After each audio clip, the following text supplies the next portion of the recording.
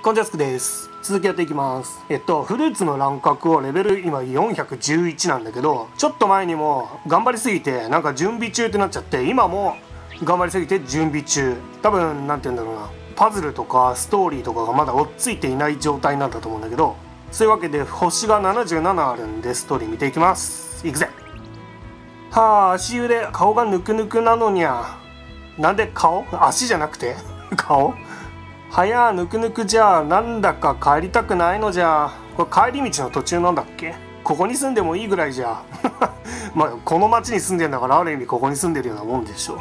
あこれってこたつに似てるにゃ。あおおこたつなのじゃ。でもこたつよりこっちの方が風流っつうかなんかいいよね。ぬくぬくしながら PC モニターを見たいにゃ。ちょっと意味がわかんないですけど。モニターだけ見ても何の意味もないけどな。そろそろ帰らないと。ふにゃーでも一度入ったら出られないのにゃあ確かにそういうのこたつっぽいね。お布団より幸せの場所なのにゃ布団の方がよくね？空もお姉ちゃんとこたつでツイッターするのが大好きなのじゃ。ツイッターハマってんのかよ。お、でも出たぞ。はややどうしたの？何か見えるのじゃ。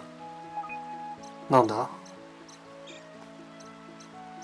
え何 ?PC モニターでそんなのが神社にあるんだ。ほら鳥居があった場所。あれ何かや？ふにゃ？トロ何も見えないよ。なんだ？お姉ちゃん関係か？よし続き見ていこ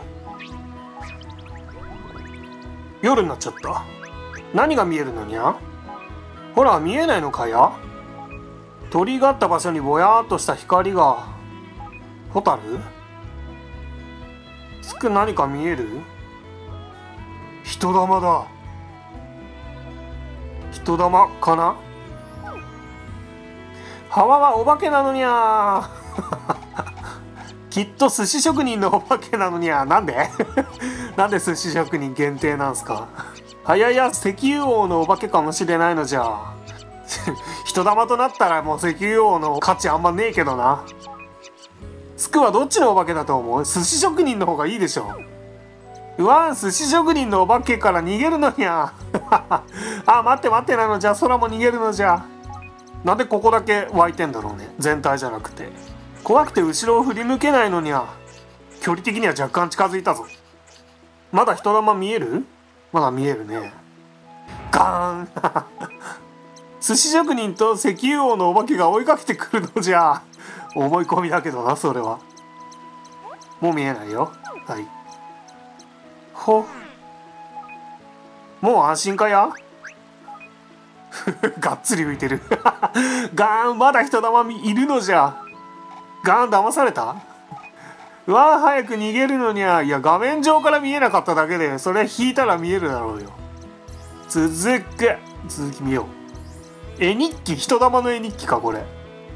まあいいや続き。お帰ってきた。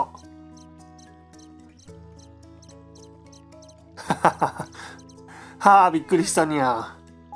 ねえねえスク怖いから今夜は一緒に寝てくれる？いいよ別に。着ぐるみ鬱陶しそうだけど。わあいえへへそれならもう怖くないにゃ。空の顔。え えー、じー。えっとえっと空今夜は一人で寝たくないのじゃ。いつも一人で寝てんだね。トロのお部屋に泊めてくれるかや？いいのにゃ。勝手に許可すんじゃねえ。わいそれじゃこれはそのお礼なのじゃ。お家具やったね。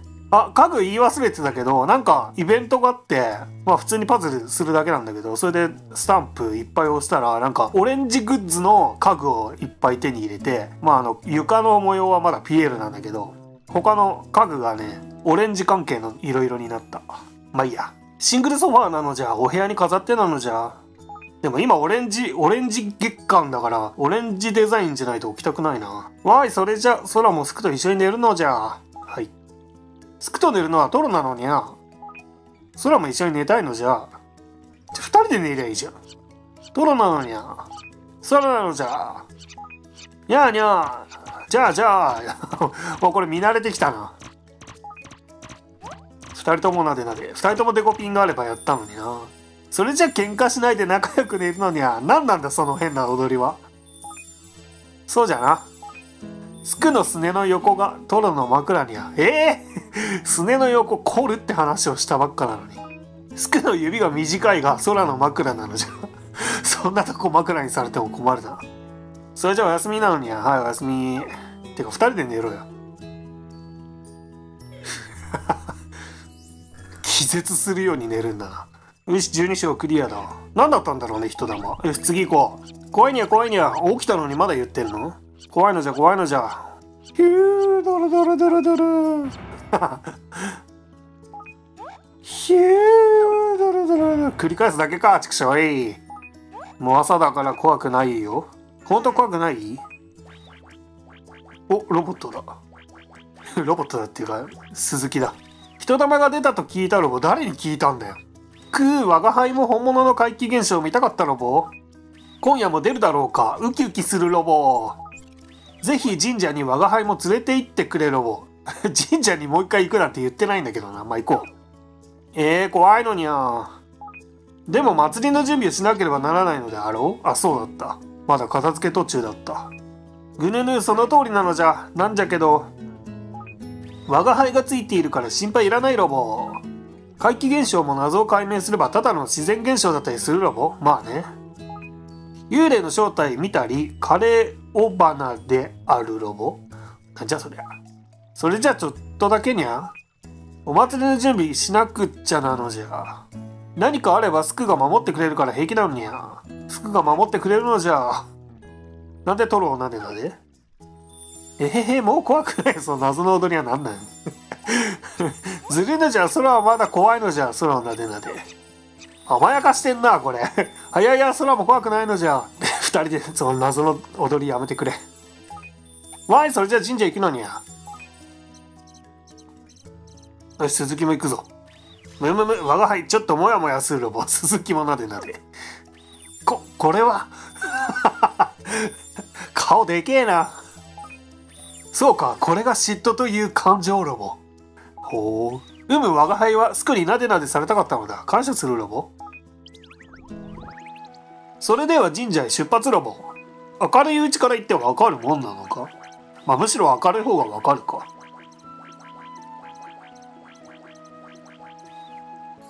続くんかい。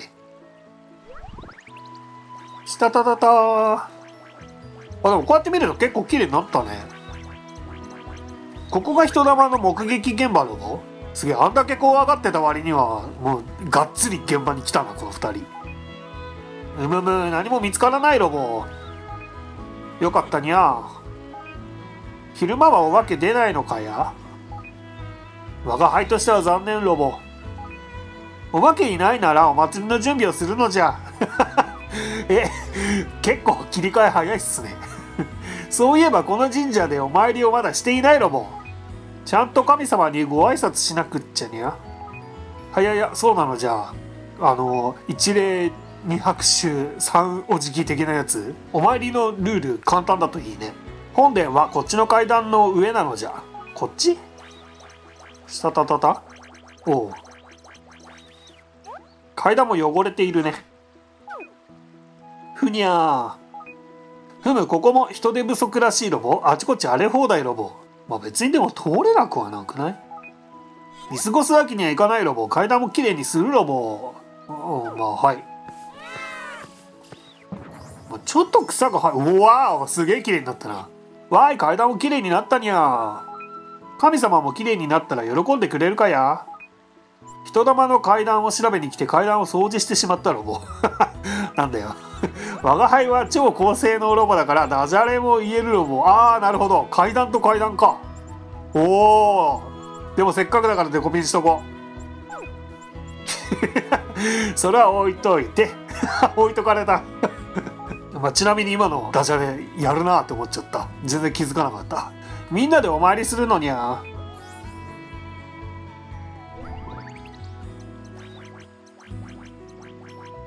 進めば進むほどどこもかしこも工事中だったり汚れてたりするな。わあここが神様のお家にゃ。でも錆びれているがとても立派な建物ロボ。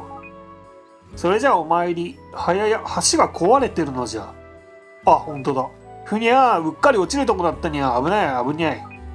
このままじゃ本殿に近づけないのじゃ。お参りができないのじゃ。とろそら我が輩がついてきたことをラッキーに思うがいいロボ。そっかこの橋も修理すればいいんだにゃ。あなんだ。鈴木がここにこう手と足でこうバタンってこう倒れてさあ我が輩の上をみたいな感じでやってくれるわけじゃないのね。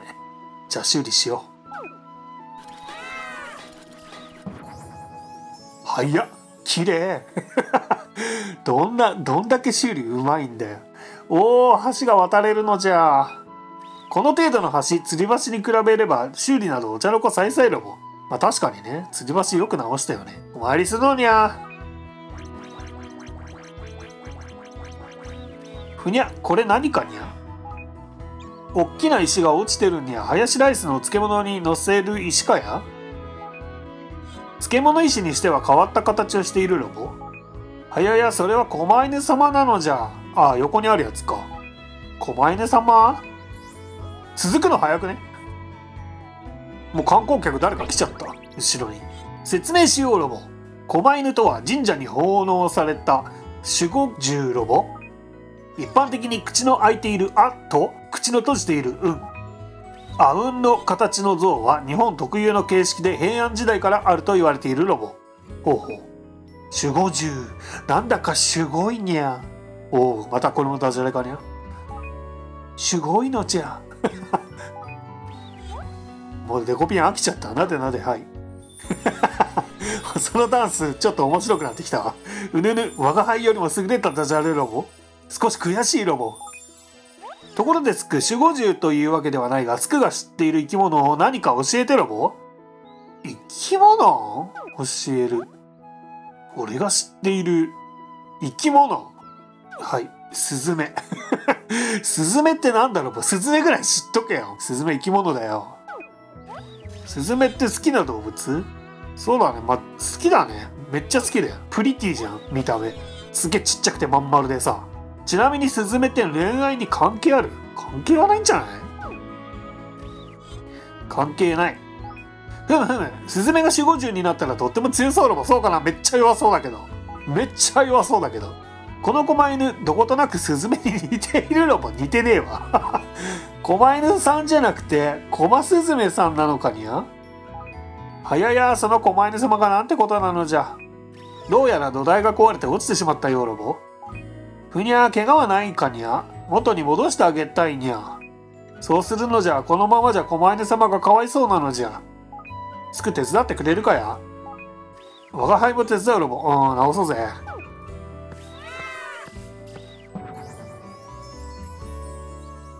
ふむふむこれだけ頑丈な土台ならもう落ちることはないロボそうなのか？それじゃ狛犬様を乗せてあげるのじゃこんなん上がる？お絵日記じー。狛犬様なんだか汚れてるにゃ。はやや大嵐とかあったからかや。きれいに洗ってあげるのにゃ。そうじゃな、ピカピカに磨いてあげるのじゃ。狛犬をきれいに洗おう。もう洗剤もバッシャバッシャかけて洗おうぜ。おお、もう乗っけたんか。すご。わーい、きれいになったにゃ。なんかこの狛犬ブサイクじゃね？狛犬様もこれで元通りなのじゃ。でも、あうんだからもう一体いるんじゃないの反対側。ところでこれは本当に狛犬ロボ狛犬さんじゃないのにゃ？もしかしてコマカピバラさん？コマカピバラさんさんってなってた狛犬はあと運の2体あるのが一般的ロボ土台は2つあるがもう1体はどこロボはやや本当なのじゃ？もう1人がいないのじゃ？1人しかいないのにゃ。この神社では昔から1体だけだったロボはやどうだったかや？まあ空に聞いてもな。こいつ記憶喪失だからな。ありとあらゆることが2人だったような。1人だったような。よく思い出せないのじゃ。聞くだけ損だ。まあ一体だけでも綺麗になったからこれでいいロボ。なんでお前がそう判断するんだ。さてそろそろお参りをするロボ。よし。進もう。えっとお参りってどこでするのに？多分後ろの苔だらけの先じゃね？ガーン！お賽銭箱もなくなってるのじゃ。盗まれた？あれお賽銭箱ないのにゃ？はやや、もしかして壊れちゃったのかや？お賽銭チャリンできないのかいな？お賽銭を地面に置くのも変なのじゃ困ったのじゃ。まあ別に変じゃなくね。別にいいと思うけど。お賽銭箱がなければ作ればいいではないか。そうだな。で、作って、なんか鍵みたいのも俺らで管理しようぜ。で、正月過ぎたら開けようぜ。作る。パンがなければもずくを食べるのが人間のルールだもんにゃ。ケーキじゃないんだね。そうじゃな、お祭りの前にちゃんとしたお賽銭箱を用意しておくのじゃ。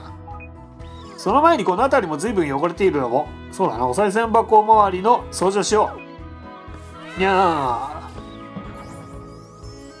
ー。おお、すご。わい、綺麗になったのにゃ。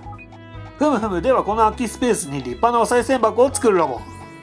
イエーイ。俺ら専用のお賽銭箱作ろうぜ。正月がっぽりだぜ。つく、お賽銭箱をここに作るので協力してほしいロボ。よし、作ろうぜ。鍵はじゃあ俺が管理するぜ。わーい、お賽銭箱できたにゃ。これでお祭りで人がいっぱい来ても安心なのじゃ。ところでお賽銭箱って何？貯金箱のお金と違うのにゃ説明しようロボ。お賽銭とは、もともと神前に備える米や野菜などお供え物が変化したものロボ。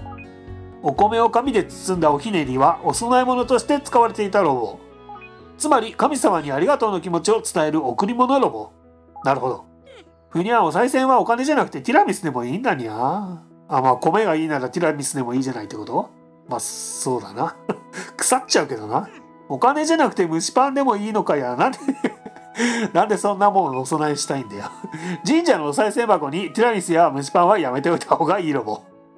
せっかくのティラミスや蒸しパンの味が落ちてしまうロボ。うん。お賽銭っていくら入れるのにゃ？それなら空も知ってるのじゃ。5円入れると5円ができるのじゃ。お姉ちゃんがよく5円が欲しいって言ってたのじゃ。22円ならニャーニャーで猫と5円ができそうなのにゃ。おお !22 円と5円。だ27円入れりゃいいんじゃない？それじゃダメか。ニャー、ニャー7、ニャー7になっちゃうか。意味わかんねえな。はややお姉ちゃんの猫は空だけなのじゃ。他の猫との縁はダメなのじゃ。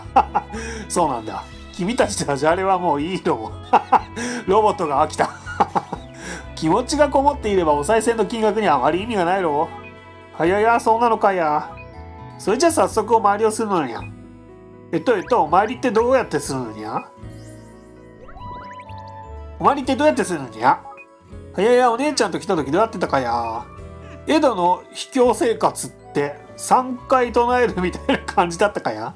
マジで？あのサバイバルのやつガチサバイバルのやつ？江戸の秘境生活、江戸の秘境生活、江戸の秘境生活なのにゃー。裸でサバイバルするやつだぞ、それ。それは流れ星見た時のお願いロボ。お参りの仕方を説明しようロボ。お参りはお賽銭、鈴ガラガラ、二礼二拍手一礼ロボ。なるほど。まずお賽銭を入れて鈴を鳴らすロボ。で、2回お辞儀、2回拍手、もう1回お辞儀ロボ。それでは、スクも一緒にやってみるよ。お賽銭を入れる。チャリーナには鈴を鳴らす。ガランガラン。で、鈴を鳴らして神様をお呼びするらしいロボ。うん、旅館もフロントでチーンと鳴らすと人が出てくるのじゃ人間も一緒なのじゃ。さてそれでは二礼二拍手一礼を実践してみるロボ。実際に鈴を鳴らすのは音で魔除けにしてるんだけどね。あれで別に神様を呼んでるわけじゃないと思うけど。魔を払ってるんだけどね、あれで。お辞儀、お辞儀、拍手、拍手、お辞儀の順番にするにはい。え、拍手。すげえみんな一気にうんざりした顔した。拍手はお辞儀2回の後なのにもう一度やり直すのにはすんません。お辞儀。はい、お辞儀1回。はい、もう1回お辞儀。お辞儀2回。拍手。拍手。なんで鈴木一瞬顔変わるんでんで、お辞儀。はい。できました。